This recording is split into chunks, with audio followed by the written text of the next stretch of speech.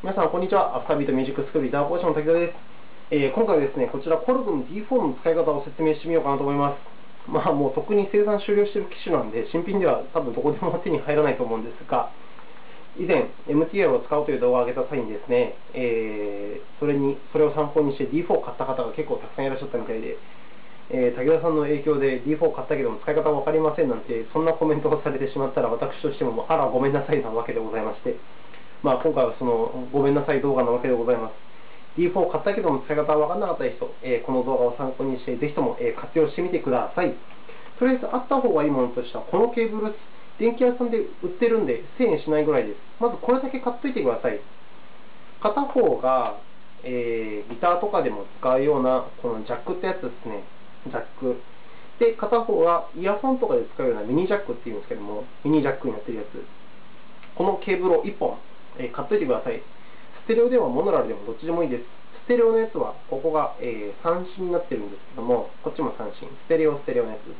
これがステレオものだったり、モノモノだったり、まあいろいろあるんですけども、えー、何でもいいんで、とりあえず1本買っとくといいかなと思います。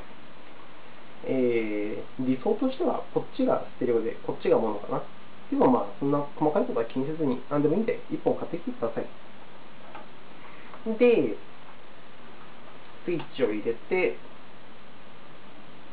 D4 が立ち上がります。で、この D4 ってアウトするところが、アウトってあのこの音を出力するところがですね、このフォンとこのマスターアウトっていう2つあるわけですよ。自分はあんまりこのマスターアウトは使わないんで、いつもこのフォンからアウトをしているような感じです。この本にミニジャックを挿して、で、こっち側のジャックをギターアンプに挿してっていう感じでこの間は使ってました。挿していきます。で、これで適当にボリュームを上げて鳴らしてみると、何かしらの音が鳴るはずなんですが、鳴るかな？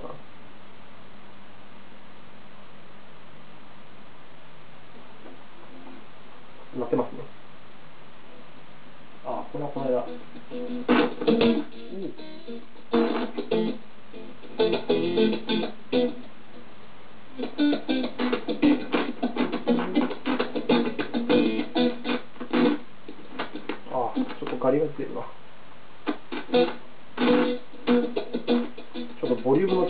ですね。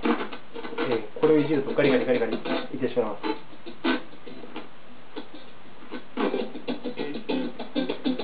まあ、こんな感じで音が鳴るわけですね。で、実際にちょっと録音してってみましょう。えー、お手元に D4 をお持ちの方、えー、あ、D4 をお持ちの方はちょっとお手元に D4 を用意していただいて、このつまみを、えー、ニューソングに合わせてください。ニューソング。もともとニューソングにやってたら、ちょっと合わせ直せる、直す感じで、こうね、合わせ直して、そうするとここにソンググレードって出るんですよ。ソングっていうのは、う新しいファイルだと思ってくれればいいかなと思います。新しくファイルを作るんだけども、そのクオリティどうするよって今聞いてきてるわけですね。このバリューを回して、エコってやつにすると、低音質だけども容量食わないやつ。スタンダードは普通、ハイクオリティっていうのは高音質だけども容量食うよというような塩梅です。私はいつもハイクオリティで作るんで、このハイクオリティに合わせたら、このテカテカしてるボタンを押すと、ウォーキングで出て、えー、ニュース音が出てきたら、新しくファイルが作られました。これに録音していきましょう。まずですね、ちょっと一回こうフェーダーを全部下げます。ゼロにして、ギターをつなぐとこからスタートですね。このギター。今のギターからエフェクターに行って、でそこからエフェクターからこっちに音が流れていっているんですけども、このジャックをインプット1に挿します。で、このラインマイクギターってやるんですけども、これをギターにとつまみ合わせましょう。で、この1ボタンを押すと、えー、赤く光りましたね。今、インプット1で拾ってる音を、えー、こう録音しようとしてるよっていうふうに、そういうメッセージでございます。もう一回押すと消えます。もう一回押すとまた赤くなる。で、ここからインプットゲインっていう言い方をするんですけども、この原因をちょっと上げていきましょう。ギターを鳴らしながら上げていきます。これで、えーこのインプットするこのギター1のボリュームをどんくらいにするかをある程度決めるわけですね。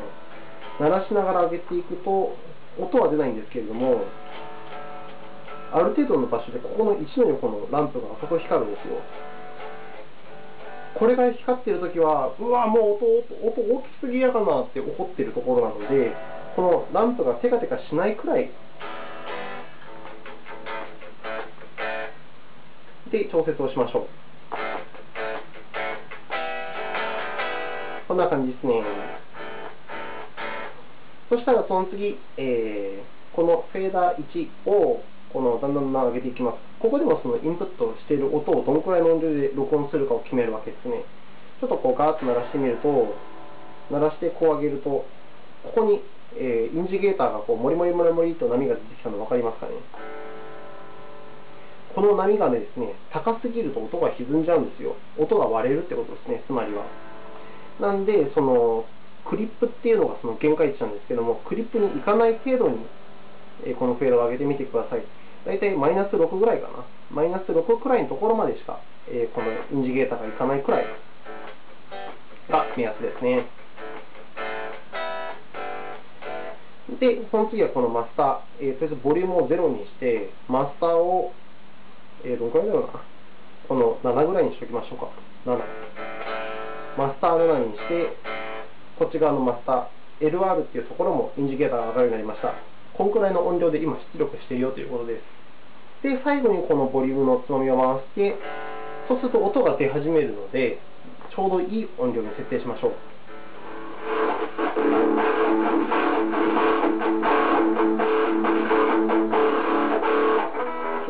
の調子が悪くてガリガリが出ちゃうんですけど。こうやって録音の準備が完了です。えー、実際に録音ボタンを押して、今テカテカしますよね。これで再生ボタンを押すと、えー、録音されてるわけです。停止ボタンを押して録音を止めます。で、巻き戻しボタンを押して再生を押すと、先ほどの音が出るはずなんですが、出ません。えー、こちら、このパンニングのボタンを押しましょう。そうすると、消えるんで、これで音が出ます。失礼しました。こんな感じですか。もう一回ちょっとやってみますね。このインプット1を押して、そうするとここがね、あの赤く光って、今ちゃんと音取れてる状態だよっていう風になるんで、これで今音が録音できる状態です。で、音を、取った音を聞きたいときは、ここを押して、ここでもいいんですけども、どっちかを押して、このランプを消して、えー、録音状態を一回ストップさせてからじゃないと、えー、再生ができないので、それを気をつけてください。で、その次、ちょっとインプット1に何か録音してみましょうか。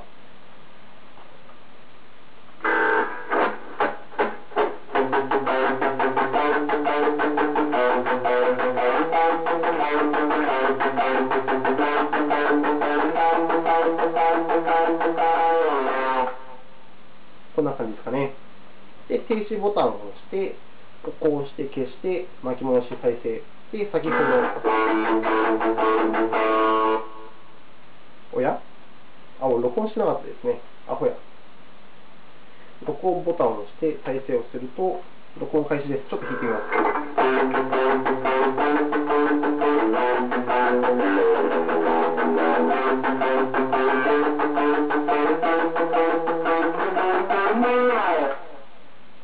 で、停止ボタンを押して、えー、これを押すと、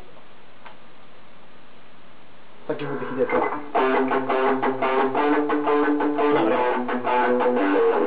で、その上に重ねるリードの音を取ってみましょうか。もう一回この1ボタンを押して、ここのランプ、赤く今点滅しますよね。点灯か。これで、このどこに録音するかを設定するんですね。今、1番に録音したので、今度は2番に行ってみます。えー、こう巻き戻しボタンを押して、録音開始開始をします。そうすると、1トラックの音を、さっき聞いた音を聞きながら録音することができるわけですね。あ、しまった。フェーダー上げてない。フェーダーを同じくらい上げましょう。こんな感じ。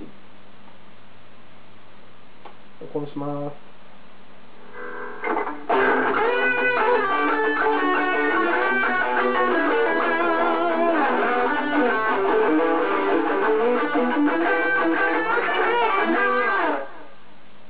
っていう感じで、停止ボタンを押して、この録音を解除して、再生ボタンを押すと、2人の私が。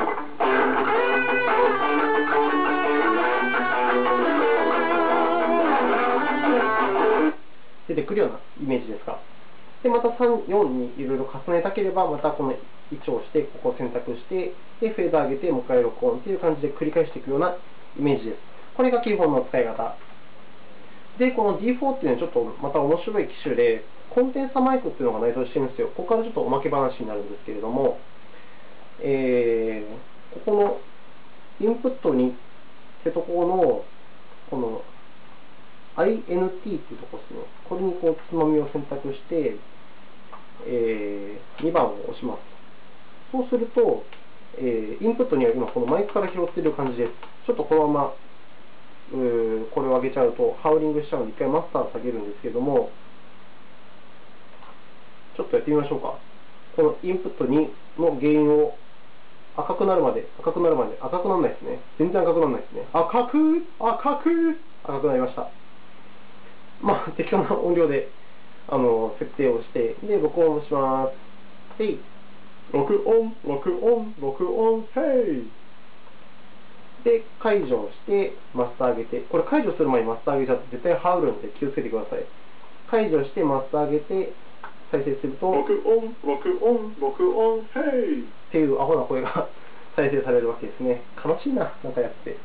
まあ、これの活用するところとしては、そのバンドで練習しているときとかにね、このコンデンサマイクで録音すると、まあ、すごく便利かなと思います。今、ハンディレコーダーがすごいあの主流でね、そっちで録音する人が多いけれども、私もそのハンディレコーダーを手に入れる前は、大体スタジオにこの D4 を持ち込んでて、このコンデンサマイクで録音してたような感じです。えー、なんとなく分かってきましたでしょうか、使い方。いろいろこういじってみればですね、えー、たまに失敗するときもありますが、だんだん分かってくると思います。この辺のエフェクターのこととか、正直分かんないです。えー、いつも録音しているときだけ、録音するときだけしか使わないんで、あんまり詳しくは分かんないんですけれども、とりあえず今の説明で基本的な流れは分かっていただけたかと思います。ここでニューソングを選択して、で、こう録音してって、練習して、で、あとは何だろうな、もう一つ言っておきたい、言っておいた方がいいのは、このトラックエディットかな。TRK エディットってところにつまみを合わせて、ここのカーソルを押していくと、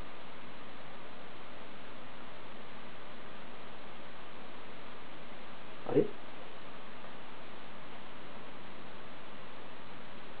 あ、違う、カーソルを合わせて、このバリューですね、これをこう回していくと、イレーストラックとかデリートトラックとか出てくると思うんですよ。何が違うのか私忘れてしまったんですけれども、このデリートトラックを選択して、ここを押すと、あ、デリートトラックじゃねえや。ソングエディットだ。ごめんなさい、ソングエディットです。ちょっとやってみましょう。すいませんね。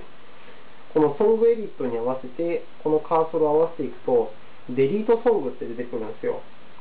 ここでこう押して、デリートソング、もう一回40番。デリート OK、Yes、 sure。ここを Yes に合わせて、本当って聞かれてるんで、本当だよって。で、ここで押すと、えー、今、ソングが消えたわけですね。これでいらない、えー、トラックとかを消していくといいかなと思います。あともう一つ豆知識としては、この四角ボタンを押しながら、この巻き戻しとか早送りボタンを押していくと、そのトラックがどんどんずれていくので、これでやってみるのもまた面白いかもしれないです。何が入ってんだろうな。えー、ちょっといろいろ聞いてみようかな。何が入ってるのか全然わかんないですけども。かける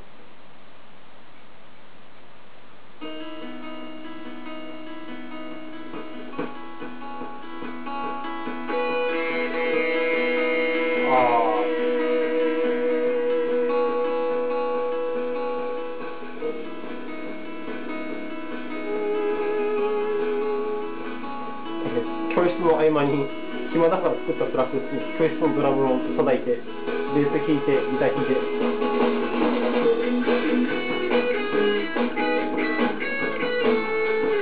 これもドラムを取るときはこちらのあのマイコンデンサマイクを使ってるんですけどもこういう感じで遊べるわけですね。いやーこんなんやるな。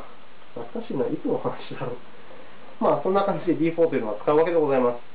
えー、基本的な流れが分かっていただけるところで、えー、ぜひ活用して練習してみてください。えー、長くなりましたが、そんなとこでしょうか。えー、それでは頑張ってください。では。